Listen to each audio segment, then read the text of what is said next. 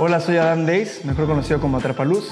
Yo les quiero compartir un tip que me ha ayudado muchísimo a la hora de, colorear específicamente dentro de Photoshop, que es la creación de acciones.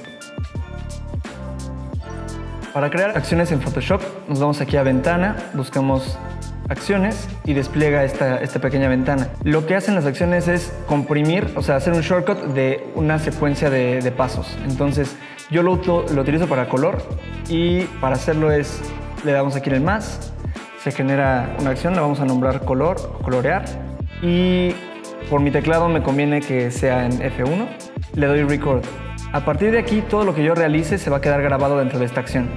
Entonces voy a ir a mi capa de que se llama Outline o Out, selecciono lo que quiero, voy a ir a Select, modificar y expandir expando dos píxeles para que no quede un borde blanco y a la hora de rellenar, listo. Ahora selecciono mi capa de color y con Alt y Backspace se rellena. Y luego no le doy manzana D para quitar la selección y eso sería todo. Le doy pausa y con eso terminaría mi acción y vamos a comprobar que funcione. Entonces me voy a, la, a la capa de Out, selecciono y nada más con la función y F1, seleccionando la capa de color, se rellena.